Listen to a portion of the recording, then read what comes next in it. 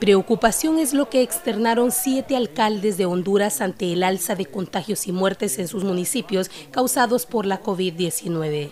Le rogamos, le solicitamos, le imploramos, presidente. Nos haga donación de estas vacunas para inmunizar a nuestras poblaciones. Pido de todo corazón acudimos a su buena voluntad para que nos apoye y nos ayude a que nuestra gente no siga muriendo. La petición fue conocida por el presidente Nayib Bukele, quien inmediatamente respondió a los siete alcaldes hondureños a través de su cuenta de Twitter.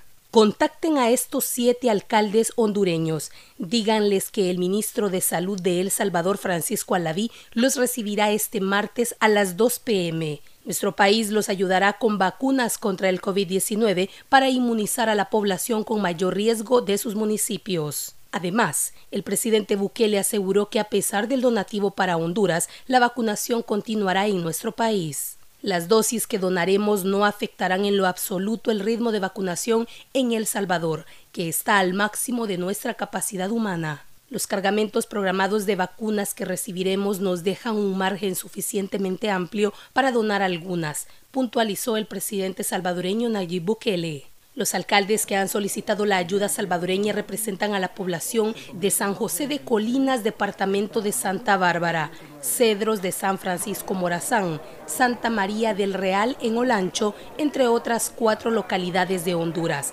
Alcaldes que llegarán en las próximas horas a El Salvador para sostener una reunión con el ministro de Salud Francisco Alaví. Claudia Chicas, Noticiero El Salvador.